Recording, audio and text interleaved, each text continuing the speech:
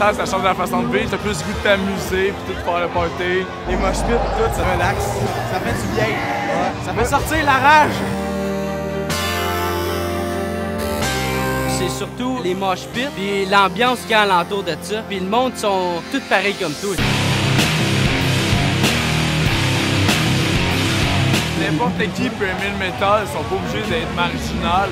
C'est soit t'aimes ça, soit t'aimes pas ça. Tous nos amis sont tous métalleux. On vient habituellement tous les shows ensemble.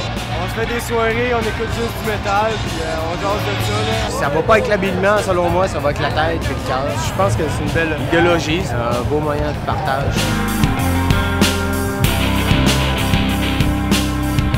Festival comme aujourd'hui c'est sold out, je pense que c'est en partie oui pour le trip, mais il y a une certaine fidélité pour les fans. Tout le monde veut supporter ça, ceux-là qui aiment ça, ils veulent tous garder ça en vie.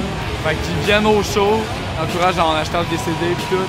C'est ça qui garde le métal en vie dans le fond. Là. Depuis que j'écoute ce genre de musique-là, punk, metal, euh, même dans l'industriel un peu, euh, les gens que je rencontre sont plus intéressants, euh, les, les, expériences sont plus fun. Ça s'explique pas, man.